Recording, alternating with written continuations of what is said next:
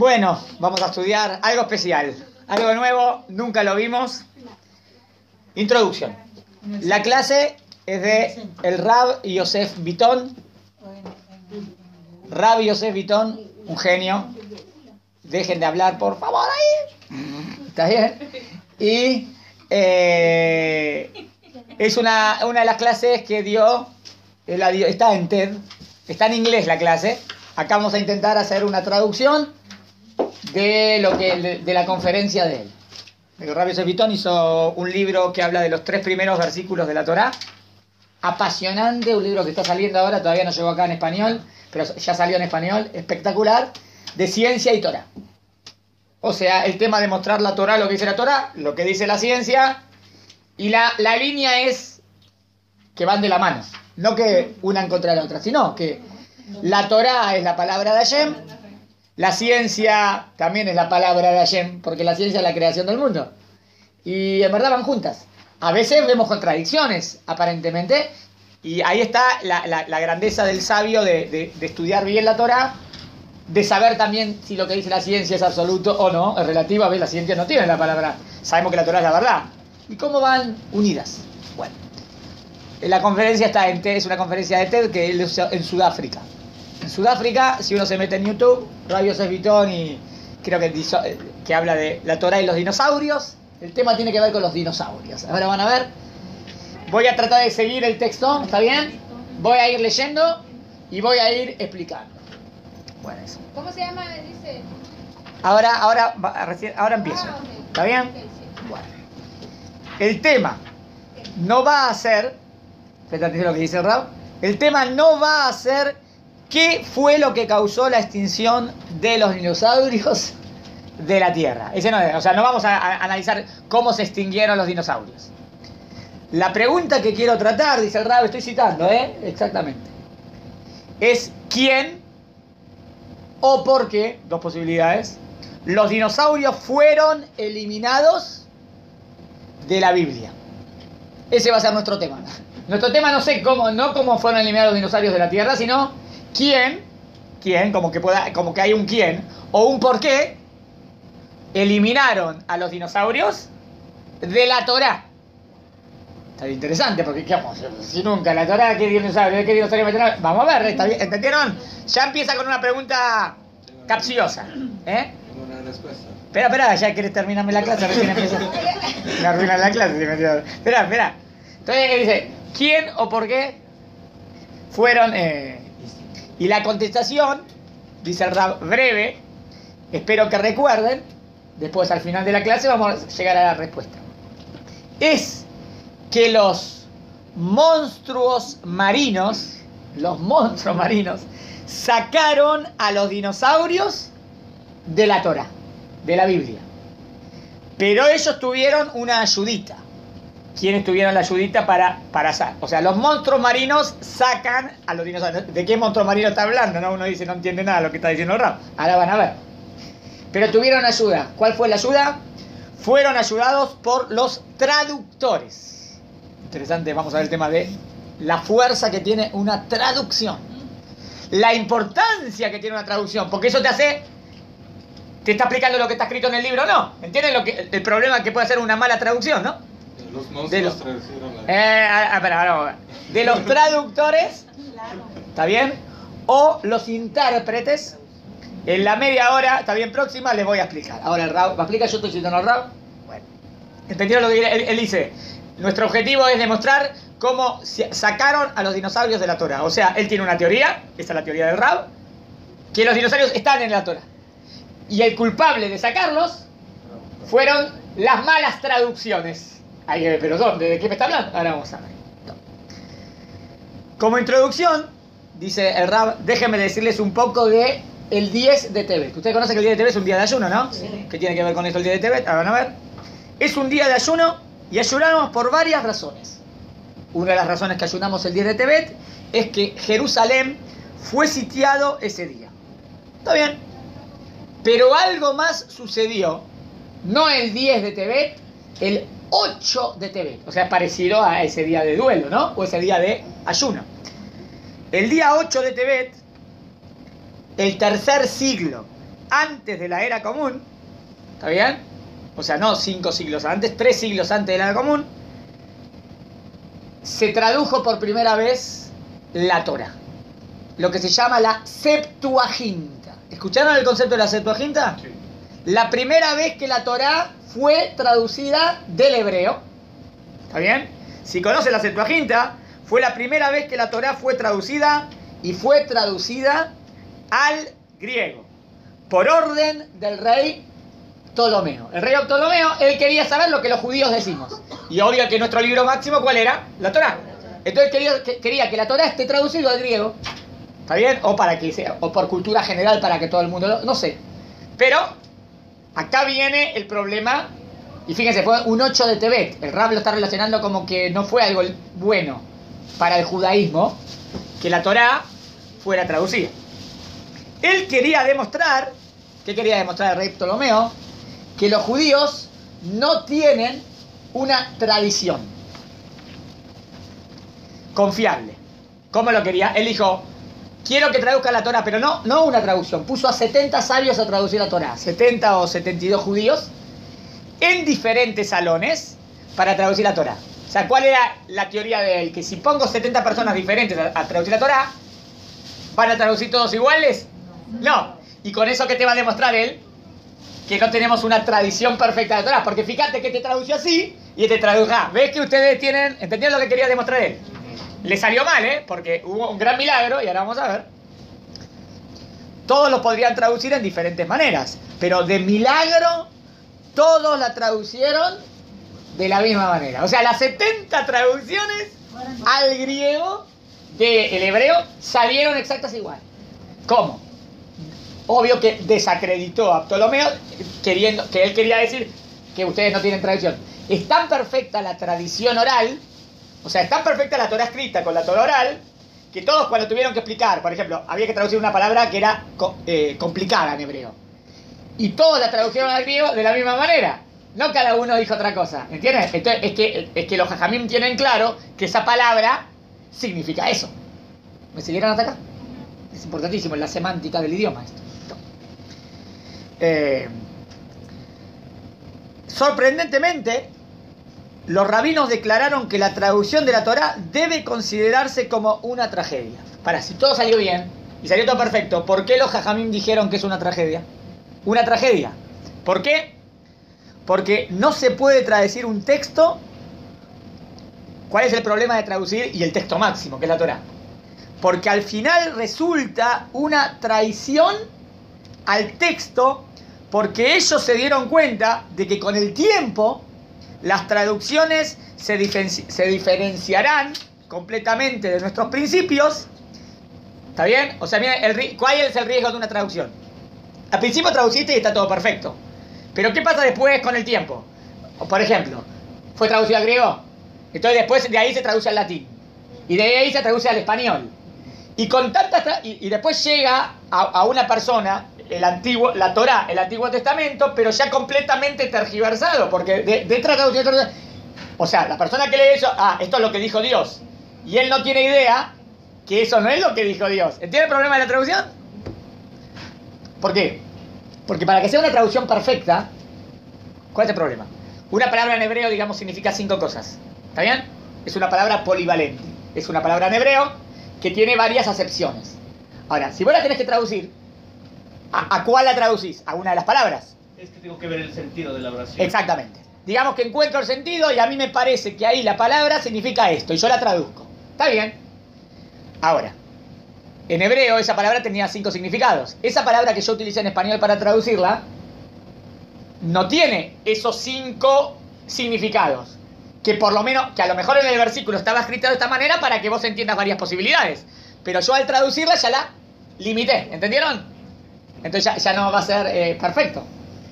Por ejemplo, ¿no? Y además para, para otro, otro traductor, eh, para mí... El otro traductor va, va- va a traducir de esa palabra decir, no con la semántica de esa palabra en el griego. ¿Entienden? Diga, eh, eh, y tenés palabras muy profundas en la Torah que tenés que traducir exacto, exacto. Y tenés palabras en clave en la Torah que vienen a decir secretos y por eso está escrito así. Pero vos cuando lo traduciste ya traduciste a una. Ya te perdiste toda la otra. ¿Entienden? Eso es el campo semántico de una palabra. Una palabra tiene un campo semántico. Pero si yo la traduje acá, bueno, agarré, agarré solamente una partecita. ¿Entienden? Yo tengo esta palabra que significa esto. ¿Está bien? Entonces, la traduzco al español y yo agarré solamente esta parte. Entonces, en español agarré esta parte, pero esta palabra en hebreo significaba todo esto. ¿Entendieron el problema? Ya está, te, te, te, limitó completamente. Y más con el tiempo, con, con, la. Bueno. Y más cuando se traduce de traducción. Bueno. Y miren lo que dice el Raba, acá dice algo muy importante. Con el tiempo, las traducciones se, se van a diferenciar completamente de nuestros principios. Y el Nuevo Testamento, y acá viene de, el, el gran problema acá. ¿Por qué? Los cristianos que van a aceptar el Antiguo Testamento estudian el Antiguo Testamento, o sea, estudian la Torá de la traducción, no del hebreo auténtico. ¿Está bien? Y con esa traducción ahí hay, hay un, jue un, juego. El Nuevo Testamento que está basado, el Nuevo Testamento está basado en la traducción griega. Así que como ven, no somos muy fanáticos de las traducciones. Y eso no hubiera sucedido si tuviéramos el original. O sea que el tema de la Septuaginta fue problemático. ¿Está claro? Porque fue la primera vez que se tradujo la Torá a otro idioma, al mundo. Tenemos que tener mucho cuidado con las traducciones. Para mostrarles eso, voy a hablar superficialmente, superficialmente del segundo versículo. Vamos a hacer un ejemplo ahora.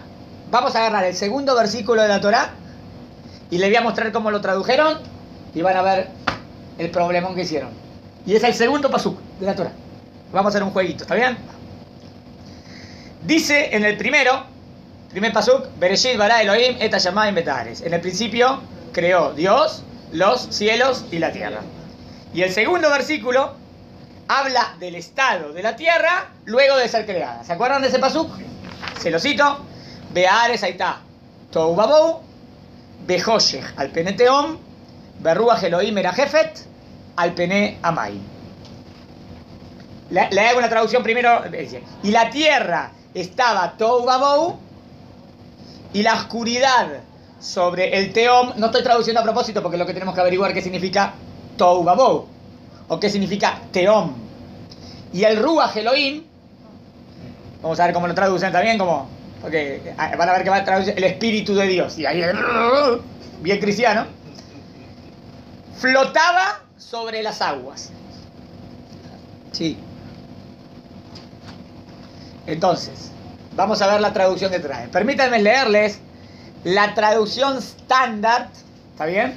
De, ¿Está bien? El Rab ahí, el Rab Joseph Pitón, agarra una traducción estándar de la Torah, el hebreo, al inglés. A ver cómo está traducida. ¿Está bien? Y dice así, la traducción del segundo pasuk, ¿eh? Y la tierra estaba informe y vacía. No digo que eso es lo que dice en hebreo, ¿eh? Esa es la traducción. Y la tierra estaba informe y vacía. Las tinieblas estaban sobre la faz del abismo. Son palabras complicadas. Y el Espíritu de Dios se movía sobre la faz de las aguas. Ahora vamos a hacer un juego y vamos a ver el, el, el, el versículo original en hebreo.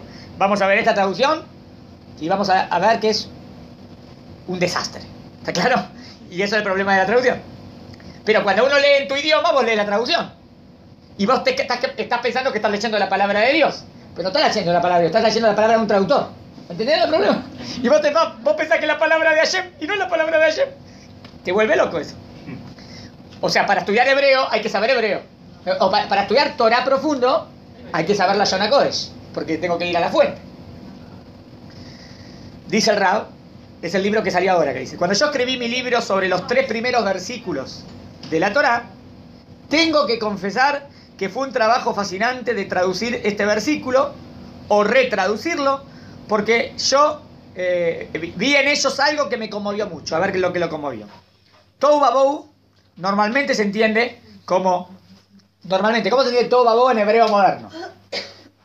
En hebreo moderno, Tou Babou se traduce como vacío y caos. Cuando, decir, está todo desordenado en la habitación, entra el habitación. Oh, es, es, es un toba, wow. En hebreo moderno, decir, esto es, esto es un caos, está todo, un, un, problema, está todo desordenado, se dice wow. La problema, ahora sí, pero eso, eso significa wow en la Torah. Esa es la pregunta, eso es lo que tenemos que ver, porque esta es la traducción que se da normalmente a la palabra. Y se usa así en el hebreo moderno. Pero cuando simplemente lees comentarios, bueno, entonces ¿cómo voy a, ver, a leer, cómo voy a ver exactamente qué significa tou, babou en hebreo? Primero, vamos a los comentaristas clásicos de la Torah, ¿está bien? Los grandes jajamim que, que me explican las palabras de la Torah. Voy a ver, por ejemplo, voy a Rabbi Abrabi Benesra, a Ramba, voy a ver a los grandes comentaristas cómo explicaron la palabra Tou. El Ramban ¿Está bien? Muy bien. A ver, a ver.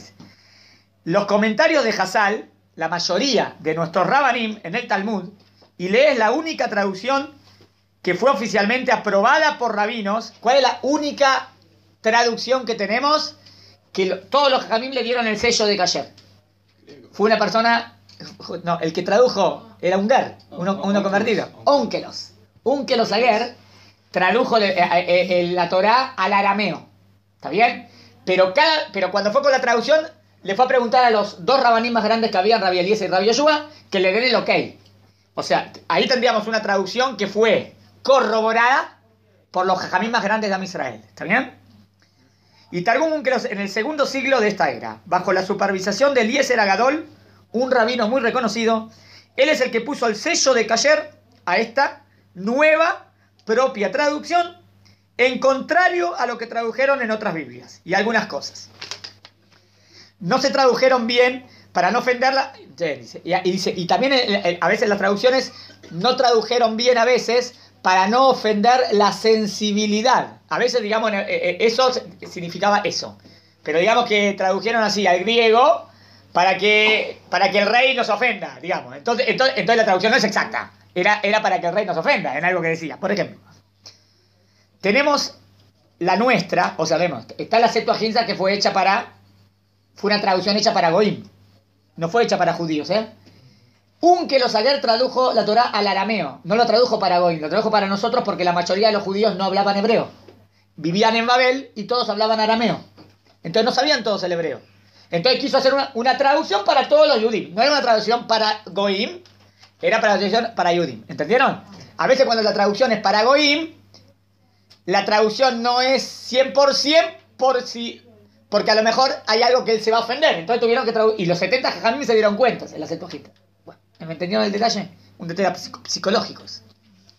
Bueno, en esta traducción, miramos el Targum Onkelos, y otras traducciones hechas por los sabios sefaradim, como Maimónides y Benesra, todos dicen, va, entonces lo primero, Tou Babou, hoy, hoy, ¿cómo traducirían? Caos. No significa caos, Tou Babou. ¿Qué significa Tou Babou? Tou Babou no significa caos, significa sin habitar. Tou y Babou es como un lugar desértico, un lugar que todavía no hay nadie que lo habite. ¿Eh? Es el pshat de la palabra, ¿eh? Eso es lo que significa en hebreo, tou babu. Que no hay vida en ese lugar. Unkelos, la traducción al arameo. El Talmud Yerushalmi, ¿está bien? Dice que no había vida ni vida animal, ¿está bien? El planeta Tierra. Este, ¿Entendieron? Entonces, el primer, el primer pesuk, ¿eh? Beares tou babou. Traducción verdadera. Y la tierra estaba Deshabitada, claro. Si todavía no está habitada. ¿A dónde va toda la creación de los seis días de la creación? Hasta que después va a crear, después va a crear las plantas. Después va a crear a las peces y. ¿Está bien? Y, las peces y las aves. Después va a crear lo humano y el ser humano. Ahora, recién acaba de crear la tierra. ¿Cómo estaba la tierra? Ahora van a ver que está toda llena de agua. Obvio que no hay vida, está desértica. Entonces, ¿qué quiere decir Tou Babou? Tou Babou no significa. Todo es caótico, porque Dios no hace caos. ¿Me siguen? El error de decir caos. Eh, decir que es todo caótico es decir como Dios hace caos. Dios no hace caos. Eh, ahora le, voy a mostrar que era una idea. Eh, ahora vamos a ver si era platónica. Ahora vamos a ver. No, era, no es una idea judía, pero por eso tradujeron así. Entonces el planeta Tierra, dice, ¿dónde estaba?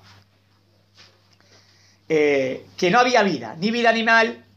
El planeta Tierra que luego va a tener eh, vida no fue creado con vida como parte del primer inventario del planeta Tierra. El planeta Tierra tiene que estar preparado para cuando venga la vida. Pero en este momento es todo Como Marte, donde no hay vida. Es como diríamos, bueno, ¿cómo es Marte hoy? Diría, todo Ah, es un caos total Marte. No, no, no. Quiero decir que, no hay vida. Entonces, ¿qué caos? No hablé de caos. ¿Entendieron?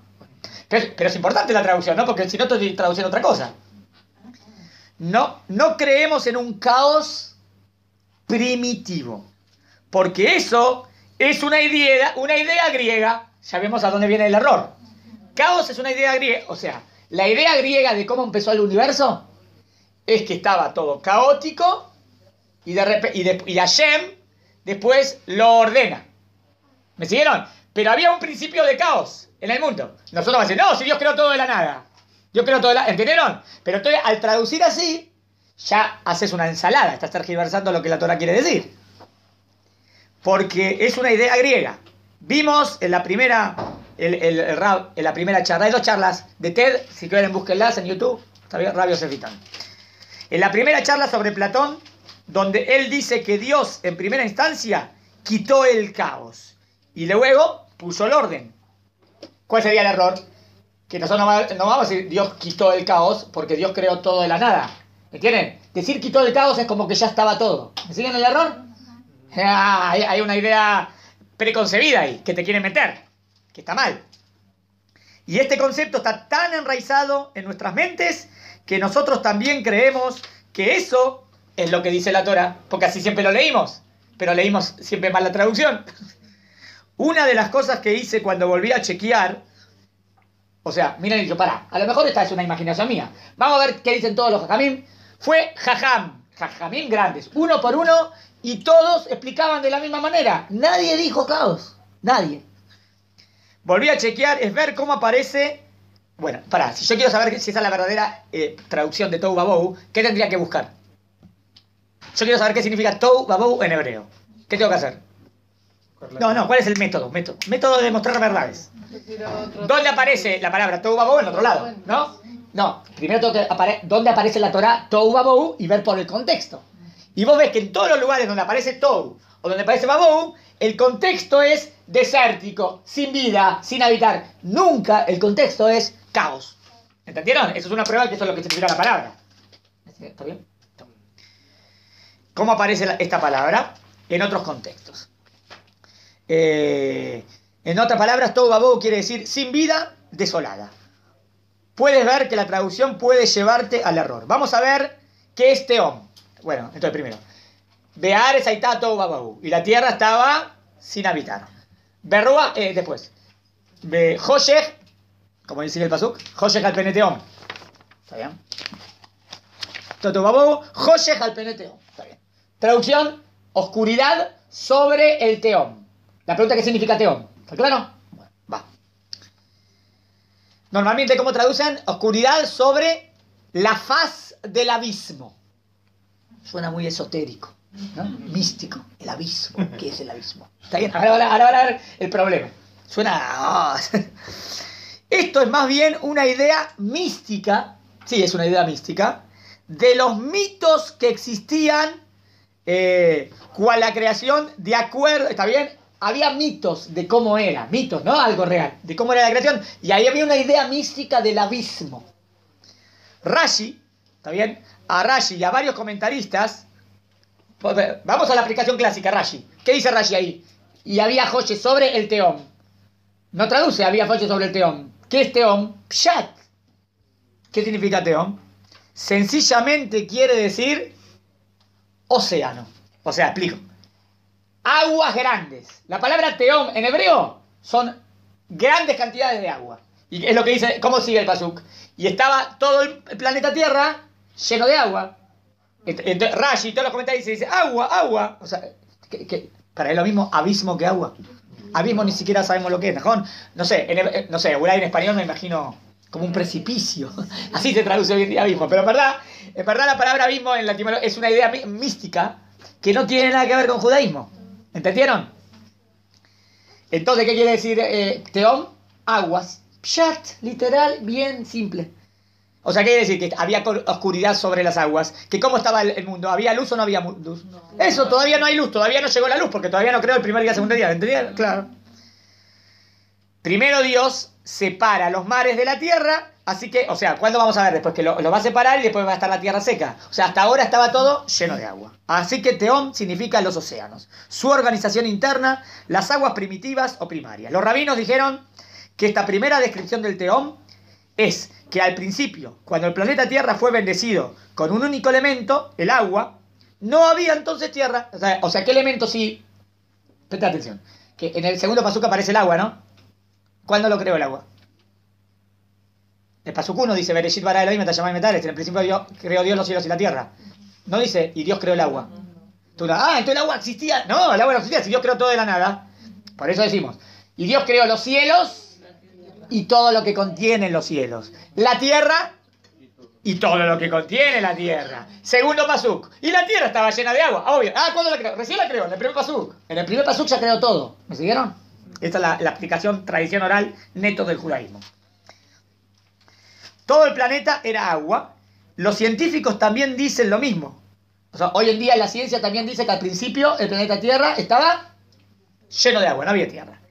Pero la ciencia no tiene idea, ¿está bien? No tiene una explicación convincente de cómo el agua llegó aquí. Entonces, hasta hoy en día la ciencia no, es verdad, reconocen que la Tierra estaba llena de agua, pero eh, no tienen una respuesta de cómo el agua, cómo el planeta Tierra estaba lleno de agua. De cómo llegó el agua no tienen una idea. Eh, ¿Cómo? Pero si dicen que en el principio, está bien, eh, no tiene idea cómo el agua llegó aquí, en primer lugar. ¿Cómo? Pero si dicen que en el principio sí había pantalaza, así lo llaman, que quiere decir que la tierra era mayormente agua, pero teom, lo que sí, ahora vuelvo a lo nuestro, no, no significa abismo. ¿Está bien hasta acá? Segunda palabra traducida mal, de alguna manera. Esta idea mística de abismo fue introducida en este pasuk. Tercera, tercer error. Ruach Elohim merajefet al Este es el peor de todos. ¿Qué? Entonces, Teo, la, la, ciencia habla de ese pantalla, de ese primer líquido de agua que había en el mundo. Nosotros también decimos que el mundo estaba lleno de agua. Nada más que los, los ciencias no, tienen respuesta de cómo eh, eh, llegó el agua al mundo o cómo empieza con agua al mundo. Eso todavía no hay una respuesta científica. Nosotros, bueno, porque Dios lo creó, está bien, pero bueno. ¿Qué es Ruach Elohim Merajefet ¿Qué quiere, ¿Qué quiere decir Ruach Elohim? ¿Cuál es la traducción clásica? El Espíritu de Dios. Acá es un problemón. Acá, pero eso bien, bien a propósito cristiano. Ahora van a ver por qué. El Ruach es el Espíritu de Dios. Si eres un ferviente cristiano, ¿Está bien? Está perfecto porque esa es la idea que tienen, ahora van a ver, de la Trinidad y, Dios entra en el cuerpo, pero, para nosotros Dios no tiene cuerpo ni forma. Nosotros los judíos no creemos en el Espíritu de Dios. ¿Entienden? Como que estaría Dios y, está la parte eh, Espíritu de Dios. Y como que Dios se divide en cosas. No. Entonces, contrariamente, estaría como está, está el Espíritu de Dios y, ah, a lo mejor también está el cuerpo de Dios. Claro, para el cristianismo Dios tiene, Jesús es parte de, Dios. ¿Entienden? Entonces está el Espíritu o el cuerpo de Dios. Para nosotros no hay ni cuerpo ni Espíritu de Dios. Dios es único y no tiene ni cuerpo ni forma. Nuevamente, ¿cómo, explica, cómo explican Jajamim? ¿Está bien? ¿Cómo, cómo explican los Jajamim ese Ruach, el Ruach Elohim estaba sobre las aguas? Nueve de cada diez Jajamim, digan ustedes, ¿Cómo traducirían? Ruach. Bien, exactamente, mirá, de israelí, lo dijo fácilmente, eso es israelí. Ruach, viento. Pero, pero, pero, ¿por qué dice Ruach, Ruach Elohim? Los vientos de Dios, como que estaba todo lleno de aire en movimiento, está, eh, eh, está bien, eh, flotaban sobre las aguas, o sea, había un mundo completamente oscuro lleno de agua y como vientos tornados o algo así, movimientos de vientos fuertes. Rúa significa viento, no espíritu de Dios, porque el espíritu de Dios no está en un lugar. ¿Entendieron? Y la mayoría de los que a mí me explican así. No es como un viento comparable al viento que dio vida a Adán. No, no, no, porque ahí sería, no, ahí ya, ya es algo, ahí, ya es algo espiritual. Es el aliento. ese, ese aliento, de, ese, ese Rúa es ya es algo más de, la vida, ah. de la espiritual. Acá, acá no, acá pshat, la palabra ruach en hebreo es viento. Te sigo. Viento. Unkelos, Maimónides y Benesra dicen que es viento, guiado por Dios. Y así explicaron todos los rabinos que siguen la gramática de la palabra. ¿Entienden? La base para hacer un buen para, pa- la base para traducir bien es que entiendas gramática, ¿no? Porque yo tengo que entender exactamente lo que significa la palabra. Si no, no, voy a decir cuál es lo que quiero. O sea, que en el segundo pasuk hemos encontrado una idea platónica de caos que no es judía. Una idea mística de abismo que no es judía. Y el Espíritu de Dios, que para los cristianos es un principio muy importante. O sea, o sea eh, eh, eh, esperen, ¿entienden la intencionalidad de traducir así para un cristiano? Que, que querría decir que el cristianismo es la verdad. Claro, le conviene esta traducción. ¿Entienden? Yo estoy diciendo que acá hay algo a propósito. ¿Entienden? Porque eh, eso no es también que viene todo tergiversado, pero aprovecho la tergiversación y la, la dejo así. Por ejemplo, si, si la palabra en hebreo va a decir doncella, ¿está bien? Ellos no van a traducir, ellos van a poner virgen. A propósito. Porque van a querer decir, es la virgen, ta, ta, ta. ¿Entienden? Pero no es lo que significa en hebreo. Eh, eh, eh, es como jugar con el texto para, para demostrar que vos tenés razón. Bueno. Porque ellos creen en el Padre, el Hijo y el Espíritu Santo. Eso es lo que ellos dicen. El Espíritu Santo impregnado como el Espíritu de Dios en las aguas. Y que en el quinto día, ¿está bien? Pudieron crear la vida. Pero nosotros no creemos en eso. ¿Entendieron? Ellos estaban metiendo ideas cristianas que no tienen nada que ver con la verdad. A estas palabras, está bien, dice Rab, le dediqué dos capítulos a la palabra Ruach y no puedo darles todos los detalles ahora, pero como pueden ver, las traducciones te pueden llevar al error y de alguna manera te ponen ideas que muchas veces tú no puedes estudiar esas palabras ni las puedes encontrar ni nada. O sea, a veces vos, vos no sabes hebreo. Entonces vos, vos estudiaste Torah en castellano o estudiaste en inglés o en francés. Y si esa traducción en inglés, en francés o todo estaba apoyada en la mala traducción griega, estamos perdidos. Porque yo estoy, yo estoy pensando que estoy estudiando la palabra de Dios y no estoy, no estoy estudiando la palabra de Dios. Estoy estudiando la palabra de un traductor que hizo cualquier cosa. Pero estamos aprendiendo equivocadamente. Yo le he preguntado a tanta gente qué es el Ruach Elohim y todos me han contestado. Y, vos, no, están, están sabidos que vos la, en la calle. ¿Y qué es Ruach Elohim? El Espíritu de Dios. Así te lo dice, pero no, no, no, no. ¿Qué es el Espíritu de Dios? Es más, me dice el Rab. El Rab trae mi traducción favorita, la traducción que más le gusta a Rabio Sevitón es la traducción de Ari Kaplan. Un Rab claro, un genio. Fue un Rab muy grande. Pero inclusive en traducciones judías, ortodoxas, ya entró las malas traducciones. Inclusive la traducción de Ari Kaplan, a- traducción al inglés, dice Espíritu de Dios. Y está mal, porque no es eso. Pero ven cómo tergiversa. No me explico por qué. Quiero hablarles de otra cosa. La Torah es muy, muy, muy precisa. La Torah refleja a su autor, obviamente, así que no puedes esperar nada sino... La Torah refleja al autor. ¿Quién sería el autor? Ayer. Si la Torah refleja al autor y es muy precisa, entonces yo debería esperar de la Torah absolutamente precisión. O sea, si la palabra está puesta ahí, es exacta, es la verdad, la verdad absoluta. Está bien. Eh, en cada palabra de la Torá refleja la inteligencia del Todopoderoso. Y voy a darles un ejemplo. Es verdad que todavía no fue a los dinosaurios. Todo esto es para explicar los dinosaurios. Y con este ejemplo voy a ir a los dinosaurios. Ah, sí.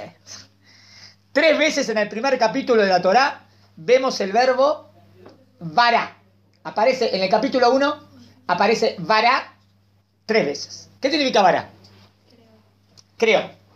¿Pero por qué aparece tres veces? ¿No, no tendría que aparecer seis veces en cada día? En cada día creo cosas, ¿no? Entonces, ¿por qué no aparecen todos los días la palabra vara? ¿Entendieron mi pregunta? O sea, por ejemplo, en el primer pasú, y creó los cielos y la tierra, aparece vara. En el segundo, en, eh, después están las aguas arriba y las aguas abajo. No, dice, no, di- no dice ahí la palabra creó. Después, claro, después crea, no sé, crea, cuando hace las estrellas, ¿no? Crea las estrellas, no dice vara, dice hizo. Cuando hace a las plantas, no dice vara, eh, hizo. Recién en el quinto día, cuando crea a los peces, aparece de nuevo la palabra vara. Ahora van a ver qué precisa que la Torah. Quiero mostrar la, pre- la precisión. ¿Qué significa crear? Vemos el verbo que significa crear algo de la nada. Cada vez que aparece la palabra eh, crear, significa crear algo de la Nada. nada. O sea, me voy a adelantar. ¿Por qué en el segundo día no va a aparecer el verbo crear o en el tercer día no va a aparecer el verbo crear? Porque la materia prima ya estaba creada. Y de esa materia prima Dios hizo algo. Entonces no pone el verbo crear, porque el verbo crear es cuando es algo de la nada. ¿Me siguieron? Sí. Entonces, ¿por qué el quinto día se llevaría la, la- la palabra crear? El quinto día que Dios crea a los peces y a las aves. Porque no existía la materia prima para que... No, la materia prima del pez estaba. Lo que no estaba, ¿qué, qué, qué hay por primera vez cuando crea al pez y a las aves? Hay algo nuevo, completo. Vida. Eso vida no viene de una materia prima. Eso es algo nuevo completamente. La materia del pez o la materia de- de- de- de- de- de- del ave ya estaba. Ahí no voy a decir crear. ¿Cuándo voy a decir crear? Cuando algo completamente nuevo. ¿Entendieron? Perfecto. ¿Y cuándo aparece de nuevo la palabra crear? En el quinto ya dijimos. En el sexto cuando crea el ser humano. ¿Y por qué el ser humano se llevaría la palabra crear? Si la palabra crear significa algo de la nada, es algo completamente nuevo. ¿Y qué hay completamente nuevo en el ser humano que no hay en el animal? El alma, el alma, el alma, el libre albedrío, la capacidad de raciocinio. ¿Entendieron? Sí. ¿Vieron vieron qué perfecta la Torah? Si dice creó, es creó. Si hizo, hizo, es hizo. Si dijo produjo, es produjo. ¿No es lo mismo? Leo. Que significa crear algo de la nada, o lo que es casi igual, crear algo directamente por Dios. Por ejemplo, ¿las plantas fueron creadas directamente por Dios? No. Sino Dios dio la orden a la tierra que trajeran la vegetación. Pero en el primer pasuk, él no envió a nadie a crear los cielos y la tierra. ¿Ven? Cuando creó los cielos y la tierra dice crear, porque ahí sería como directamente de Dios. Cuando Dios da la orden para que de la tierra salgan las primeras plantas, ahí no dice crear, porque ya la materia prima está y Dios está haciendo que salga. ¿Entendieron? Fue hecho, entonces cuando dice crear sería ex nihilo, de la nada. Eh, está bien. No tengo que decir ex nihilo, de la nada, más fácil. Sin intermediarios. Mientras que la mayoría del resto de la creación fue hecho por Dios, activando distintos elementos de la creación. La primera, la creación de los cielos y la tierra. La tercera vez en el Pasuk 27, la creación del hombre a su imagen y semejanza, entre comillas, el alma que es la conciencia humana, la inteligencia humana y la capacidad humana del libre albedrío, su capacidad moral. Y este pasuk habla de la creación de la Neshama, o lo que llamamos alma. Con respecto al cuerpo del hombre, esperen, cuando Dios hace al cuerpo del hombre, ¿tendría que decir vará? Cuando hace el cuerpo del hombre, ¿debería utilizar la palabra vará? No. No, porque la materia prima del cuerpo ya estaba. Del polvo de la tierra. Entonces ahí no dice vará. ¿Entendieron que es perfecto la Torah? La palabra son geniales. Tenemos en el capítulo 2 al cuerpo. Ahí dice que lo creó de la tierra. El alma fue creada directamente por Dios. Cuando dice, por ejemplo, Naase Adam, esa fa- famosa pregunta, ¿no? Naase Adam, ha- ha- hagamos al hombre. Enseguida la pregunta surge, ¿por qué dice hagamos? Que tenía que haber dicho haré. Dice, hagamos, hay varios dioses. Eh, pero enseguida, ¿no? Todos saltan y hay que contestar. Dice hagamos. Hay muchas respuestas posibles. Acá el Rab da una, interesante. Hay muchas explicaciones, yo conozco cuatro por lo menos. Les doy una. Hashem le está hablando a la tierra. O sea, como, ¿por qué dijo hagamos? Porque lo va a hacer con algo que ya él hizo. Entonces dice, bueno, ento- es como, es simbólico. Obvio que el que está haciendo todo es Dios. Pero como dice la tierra, bueno, hagamos al hombre. Bueno, yo le pongo la parte, eh, eh, está bien la lo, que es de la nada y, y le ponemos la parte. Entonces por eso hagamos. Hay otra que dice a los ángeles, hay otra que dice que es un plural majestuoso. A veces cuando habla el rey, también en el español antiguo. En el español antiguo eh, se utilizaba para el, singular, el, el plural. Por ejemplo, nosotros el rey. Le excedió al. Nosotros, ¿por qué decir nosotros? Yo el rey. ¿Cómo decir nosotros el rey? Es un plural majestuoso. Es el y en el hebreo también se utiliza. Sí, majestic. majestic, exactamente. Bueno, dejen. Está, está compuesto de la tierra, hecho de átomos y su alma directamente por Dios. Hay una tercera vez y en este pasuk vamos a concentrarnos. Ahora vamos al tercero, que es el que viene a hablar de nuestro tema. Pasuk 21. Es la creación por primera vez de organismos vivos. Por ahora no lo traducimos para que vean cómo dice en hebreo. ¿Está bien? Vaibra Hashem y creó Hashem etataninim agedolim. Quinto día. Y Dios creó a los taninim gedolim. Hay que ver qué significa taninim gedolim. Ahora vamos a ver. Y todos esos animales que se arrastran, que se arrastran, que se generaron por el mandato de Hashem. Dios creó a los organismos vivos, taninim, Gedolim, Taninim grandes. Y de ahí vamos a los reptiles y a los, ¿y qué más creó el quinto día? Los Ofot. ¿Qué sería Ofot? Cualquier criatura que vuela. O sea, o sea ah, eh, ento- eh, ento- y los- los- las moscas estarían en- en el quinto día, entonces sí. porque todo lo que vuela fue creado el quinto día. Todo lo que vuela. Cualquier criatura que vuela, también puede ser insectos. Aquí podemos visualizar desde los animales más grandes hasta los más pequeños. ¿Entendieron lo que creó el quinto día? En el sexto día son los mamíferos y el ser humano. ¿Me siguieron? ¿Qué tienen en común? ¿Por qué habrá creado el quinto día las aves con los peces? ¿Por qué eso lo puso en uno? ¿Qué tienen en común? Probablemente que fueron creados de huevos. Porque vienen por huevos. Le buscó algo en común. ¿Por qué el verbo vará? Porque es la primera vez que se crea la vida. Resumimos.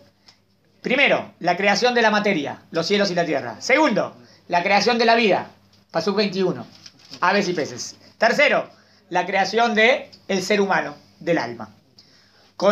Coincidentemente, estas son las tres áreas, miren qué interesante, ¿eh? Las tres áreas que la teoría dice vará, son las tres áreas que la teoría de la evolución es tan débil. Interesante.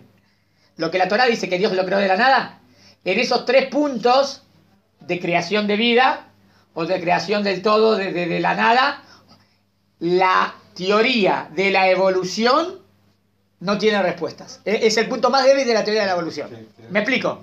O sea, la, la teoría de la evolución de Darwin es cómo van evolucionando las especies. Sí, pero ¿qué Muy bien, pero no tiene respuesta Darwin a, a- a- a- decirte cómo empezó la primera.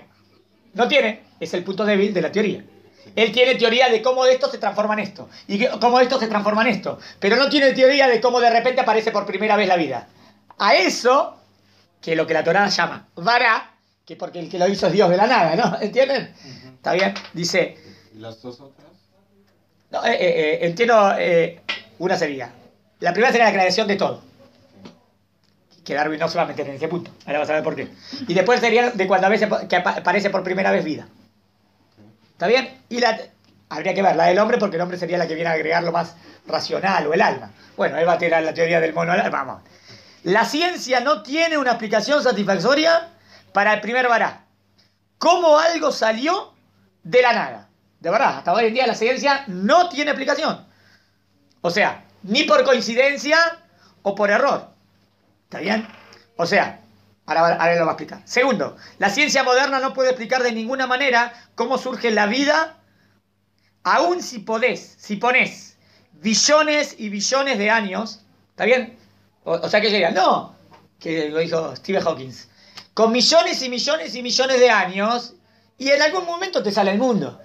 El, Rabito dice, para, ¿hiciste la cuenta? Aunque tengas los millones y los millones y los millones de años, la probabilidad que te salga una célula es ínfima de ínfima de ínfima. Y no te sale. ¿Entiendes? Es- lo que quiere decir. Inclusive con millones de años, ¿qué necesitas? El marcador.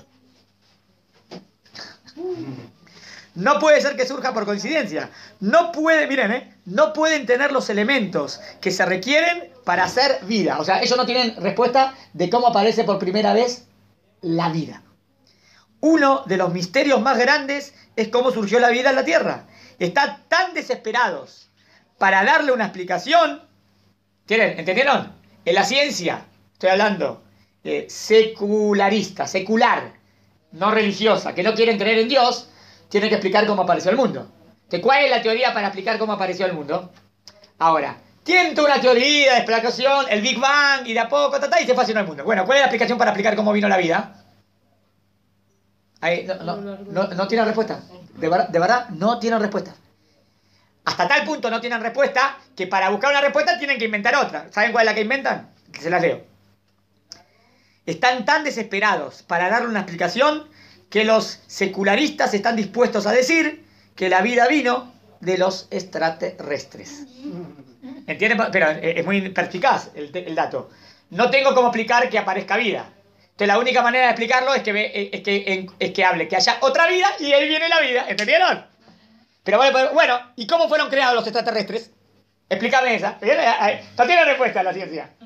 ¿Entendés? Hasta el final. Nada más alargaron la Ah, pregunta. ah, no, claro. Alargaron La agarraste, la agarraste. Alargaron la pregunta, pero no la contestaron. Inclusive con el tema de los extraterrestres, alargaste la pregunta. Porque tendrías que haber dicho, bueno, ¿y ese principio de vida extraterrestre de dónde viene? Pues, Necesariamente tenés que llegar a Dios que la creó, ¿entienden? Como no quieren reconocer, entonces ahí buscan una excusa. ¿Me siguieron? Es muy filosófico lo que dijo Raúl. Perfecto. Y no dicen que fue Dios quien lo creó. Por cierto, Darwin no tocó el origen de la vida en su libro. Darwin analiza cómo de una especie se transforma en otro. Pero Darwin no analiza el origen de la vida. ¿Y por qué no lo toca? ¿Por qué lo da por sentado? No tenés que dar por sentado, tenés que explicar. ¿Entiendes mi pregunta? Sí. A ver, Miren lo que hizo el Raúl. ¿Por qué? Porque hasta Pasteur ellos creían en la generación espontánea. ¿Qué quiere decir la generación espontánea? Como cuando tú pones una caja en un pedazo de carne y de buenas a primeras, digamos, la dejaste ahí unos días, salen gusanos. ¿Cómo salieron gusanos? De la nada. En verdad, hasta Pasteur pensaron que de la nada, pero después se descubrió, no es de la nada, es porque habían ciertos huevitos ahí y de donde salieron los gusanos. Pero ellos creían, hasta él, en la época de Darwin creían en la generación espontánea. Por, por- por lo tanto, él no, tendría que, él no tenía que explicarte de dónde vino la vida. Porque para ellos era normal que, que- exista eso. Pero nosotros sabemos que no existe eso. ¿Entendieron? ¿Por qué, por qué él no lo explicó? De la nada, eso es una creencia muy antigua. Cuando vino Pasteur, descubrió el mito, que en realidad todo lo biogenético, porque esos pequeños huevitos que ahora podemos ver con el microscopio, antes no se veían. Y por eso Darwin nunca habló del tema. Hasta hoy en día no hay ninguna explicación científica del comienzo de la vida. Si hubiese, podríamos poner todos los elementos. O sea, digamos que ellos tendrían una teoría de cómo se hace la vida. Entonces, agarrar todos los elementos, ponerlos en un laboratorio y crea vida. Frankenstein. ¿Entienden? Si de verdad podría, hasta, hasta hoy en día la ciencia puede crear vida, no, porque el único que puede crear vida es Akadosh Baruj. Ellos pueden trabajar con los clones, pero para trabajar con los clones no creas vida. Tenés la materia prima y con esa materia haces algo parecido. ¿Entendieron? Ellos no saben de la nada, no pueden creer nada de la nada. Tendría- podrías poner todos los elementos que constituyen la vida en un laboratorio y con tu inteligencia unes los elementos solamente y generas una pequeña célula. Y no pueden, no solamente eso, si le das a un científico una célula, no solamente no pueden crear una célula, ¿eh? inclusive si le doy la célula abierta, ¿está bien? Y le dices, únela, hazla, recrea la vida de la célula. Ahí están todos los elementos. No lo pueden hacer. Solo Dios, ¿está bien? Dale a un científico un mosquito muerto. Un mosquito muerto. Que se murió de causas naturales, ¿está bien? O por viejo. Hazlo vivir, ¿está bien? Todos los elementos los tienes. O sea, él tiene el mosquito, solamente que está muerto. Lo que tendría que tener la, la esencia de la vida. Vi, hacelo vivir, ¿no? No, y es imposible. El único que puede hacer eso es Akadosh Baruj Hu. Eh, eh, Es buenísimo esto, ¿eh? La ciencia no tiene respuesta, de verdad no tiene, no estoy jugando. No lo pueden hacer. La ciencia no tiene idea cómo la vida aparece en nuestro planeta por primera vez y nosotros tenemos que decirle esto a nuestros hijos. No quiero que un profesor muy carismático quiera darle sus propias creencias a mi hijo porque va a venir a la universidad y mi hijo va a A, B y después viene a B, que no, ¿está bien? Por eso yo quiero decirle de verdad, sabelo, que la ciencia no tiene todas las respuestas. Obvio que la ciencia es algo grandioso, ¿eh? No digo que no. La ciencia es un, es elemento. Bueno, vamos al kit de la cuestión. De la misma manera, la teoría de la evolución no tiene idea de cómo la ciencia, eh, cómo la conciencia surgió por primera vez. No hay explicación, por ejemplo, inclusive si me va a decir que, eh, o sea, cómo por primera vez existe un ser humano pensante, él no tiene, no tiene explicación. Te va a decir que del mono va y después se pasa al ser humano, pero no tiene una explicación de cómo existe el pensamiento, el raciocinio. Entonces, en los tres puntos no tienen explicación. Justo los tres puntos que la Torah dice creó, en estos tres puntos la ciencia no tiene respuesta. ¿Qué, qué, qué significa crear? De la nada. Porque el único que tiene ese poder, ¿quién es? Hashem. Buenísimo. Volvamos al Pasú 21 y aquí vamos al... Y les hago, ¿está bien?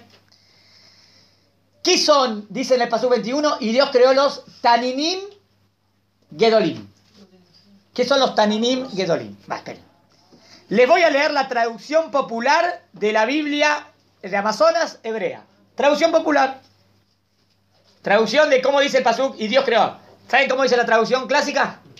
Y Dios creó los monstruos, monstruos marinos. Los monstruos marinos. Monstruos marinos, dice Rab, suena a una traducción de Harry Potter. ¿Qué tiene que que los monstruos marinos? ¿Dónde salían los monstruos? ¿Saben cómo se dice monstruos? ¿Saben cómo se dice monstruos en hebreo bíblico? Adivinen. Monstruo. No, no me den ninguna respuesta porque no existe ni. Exacto. No existe una palabra en hebreo para decir monstruos. No hay.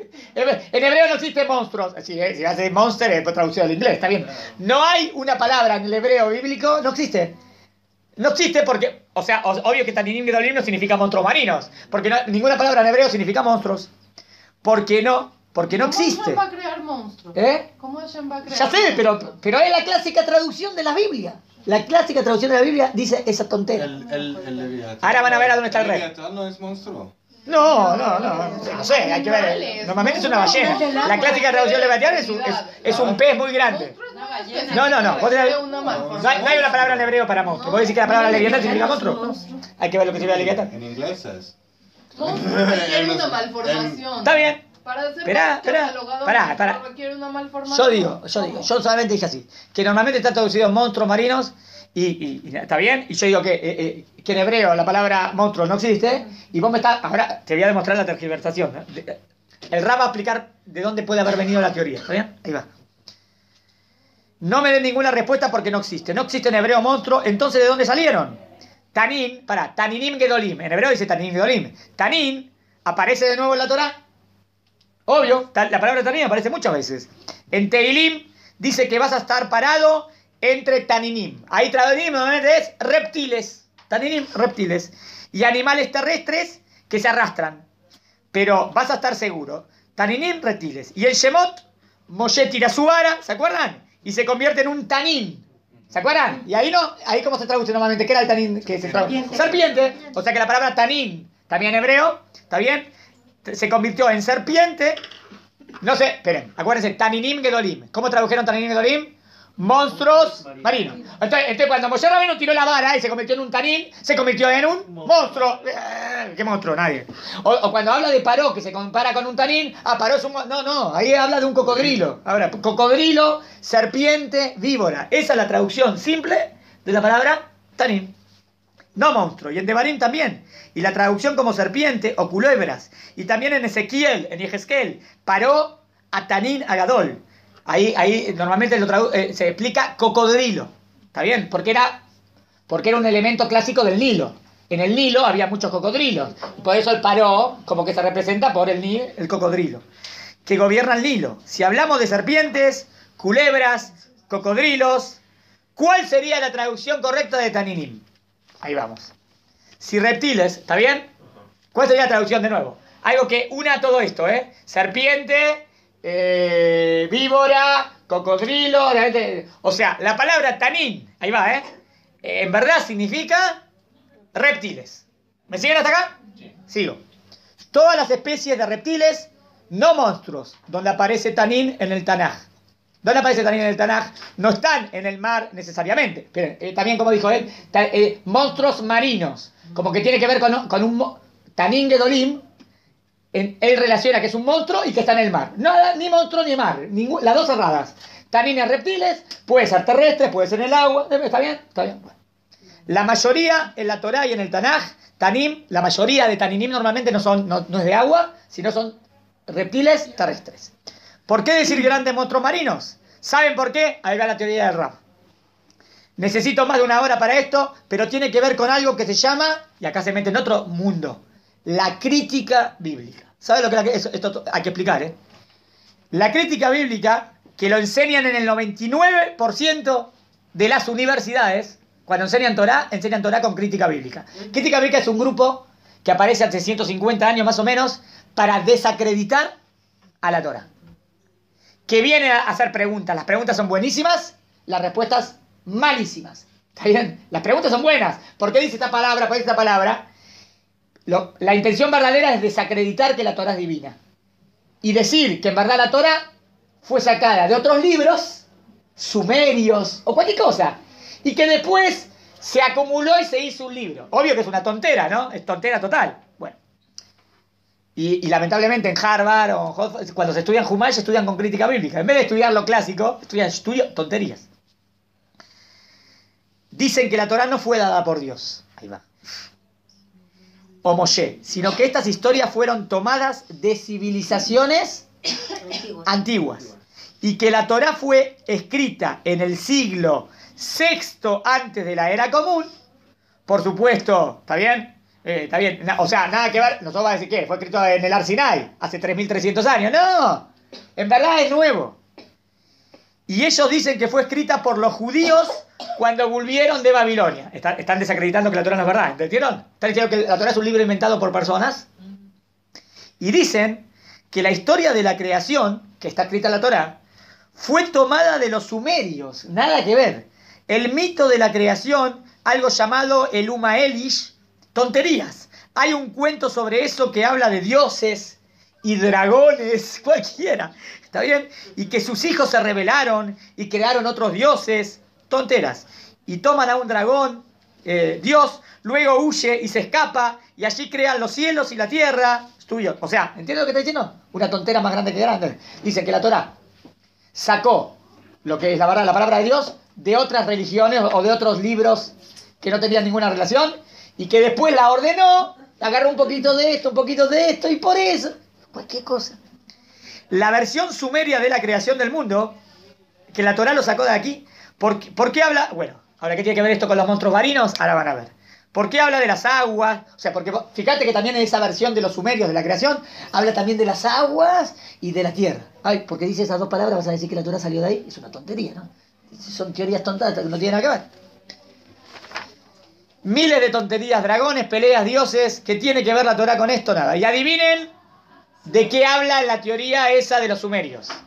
De cómo, de, de cómo aparece el mundo. Ahí, en ese libro, habla de los monstruos marinos. Entonces, ¿se les ocurre una teoría de por qué los que tradujeron la Torá, Taninim Gedolim, lo tradujeron eh, monstruos marinos? ¿Por qué era dirigido para ellos? Yo tengo una teoría. Si vos querés decir que la Torá no es divina y que la Torá lo sacó de esos libros, qué mejor que cuando traduzcas la Torá, traduzcas con un elemento que está en ese libro. Y vos digas, ¿ves que la Torá lo sacó de ahí? ¿Me siguieron? El, super, eh, super, super malvado, de nuevo. Si yo quiero decir que la Torá no es verdad y que la Torá lo saca de otros libros, ¿está bien? Muy bien. Y la Torah te habla de que Dios creó a los Taninim Gedolim. Ahora, si yo ahora te tra- si yo Taninim Gedolim te lo traduzco monstruos marinos. ¿Está bien? Que en verdad es un invento, ¿no? ¿Están de acuerdo que es un invento? Porque Taninim Gedolim no significa eso. Pero en ese libro antiguo de los sumerios habla de esos dragones y monstruos marinos. Entonces, si yo ahora en la Torah encuentro la palabra monstruos marinos, ¿qué voy a decir? ¿Ves? ¿Ves que la Torah lo sacó de ahí? ¿Entendieron? ¡Qué mentira! O sea que Pero con, ¿entienden? ¿Entienden? O sea, O sea, estoy, estoy diciendo que la traducción fue tergiversada, a mí me parece, a propósito. A propósito. No, no sin querer acá. Acá no es sin querer. Esto está a propósito. Es gravísimo. ¿No? Porque para, de- es ir en contra de Dios. Dice el Rab. Tengo una gran idea. Dijeron, vamos a traducir Taninim Gedolim como monstruos marinos para dar otra evidencia de que la Torá de los judíos viene de Aluma Elish. Si no, si no me creen, no los culpo, pero este es el origen real de estas traducciones y nosotros las tomamos. Si dicen todo babobo como caos, bueno, eres víctima de entender algo de la Torá como algo platónico. No sé si es tan grave, pero monstruos marinos. ¿Qué significa entonces Taninim Gdolim? Ahí va ahora lo revolucionario. Entonces, ¿cuál sería la traducción verdadera de Taninim Gdolim? Taninim, reptiles. reptiles. Gedolim, grandes. O grandes reptiles. Escuchen, ¿les suena familiar? Richard Owen, en 1841, fue el que acuñó por primera vez la palabra dinosaurio. Y ahora viene lo buenísimo. Nosotros decimos dinosaurio, dinosaurio. ¿Alguna vez estudiaron qué significa? ¿Qué significa dino y qué significa saurio? Eh, vamos, ¿está bien? Y la palabra dinosaurio se compone del griego. Dino significa grande. ¿Y saben lo que significa saurios? Reptil. reptiles. Entonces, ¿entendieron lo, lo- lo revolucionario? O sea, dinosaurio. Es que nosotros decimos dinosaurio no sabemos lo que significa dinosaurios. Dinosaurio significa reptiles grandes. Es verdad, ¿vieron cómo es? ¿Qué? ¿Vieron, vieron la forma que se, se- se le da a los dinosaurios? Es como un reptil chiquitito, pero gigantesco. Entonces, dinosaurios significa reptiles grandes. Entonces, los dinosaurios están en la Torah. Claro que están en la Torah, porque Dios dice que creó a los reptiles grandes. Que eso significa dinosaurios. ¿Me siguieron? Termino. Reptiles. Que estamos diciendo que dinosaurio significa grandes reptiles. Entonces, ¿cómo traduciríamos Tanirim Golim? Grandes reptiles. ¡Wow! Descubrimos, acá termino, los dinosaurios en la Biblia, es verdad, están los dinosaurios en la Torah. Ahora entendemos lo que dice en un principio los monstruos marinos. ¿Se acuerdan cómo empezó la clase? Yo quiero demostrar, eh, dijo que en verdad no vamos a decir cómo desaparecieron los dinosaurios del mundo, sino que quiénes hicieron a quiénes sacaron a los dinosaurios de la Torá. Los malos traductores, porque los malos traductores tradujeron de mala manera, entonces ya no existen más. Porque tradujeron monstruos marinos, que no hay ningún monstruo marino, Dios no creó ningún monstruo marino. Los monstruos marinos sacaron a los dinosaurios de la Biblia con ayuda de los traductores, que tenían una agenda muy importante. Déjenme decirles parte de la agenda. Entendiendo Génesis, Sejun Nahum Sara, en una traducción que es inútil e ingenuo, un ejercicio para reconciliar la historia bíblica con la ciencia moderna. Cualquier cosa que puede coincidir entre ambos no es sino mera coincidencia. Me extraña que no hayan traducido Tanirín Gedolim como grandes reptiles. Con razón, en su libro quiere explicar según esa teoría tonta de Saumeria, y él escribe que eh, sin ninguna vergüenza, monstruos marinos, esa es la historia de los dinosaurios. Hasta lo que yo sé, lejos de negar la historia de los dinosaurios, la Torá, el libro más antiguo que tiene récord de habla, eh, que tiene récord, habla de estos animales increíbles.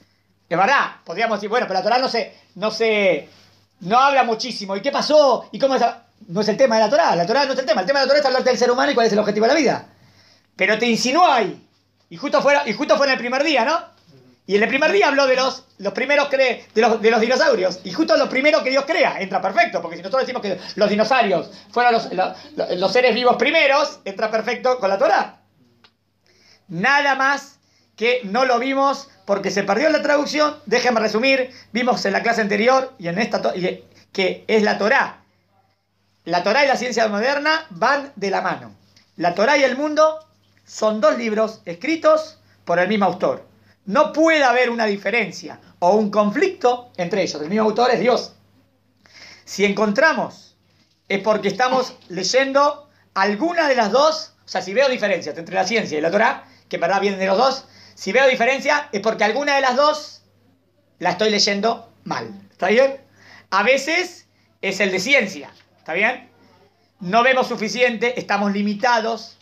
Y otras veces también no estamos leyendo correctamente la Torá.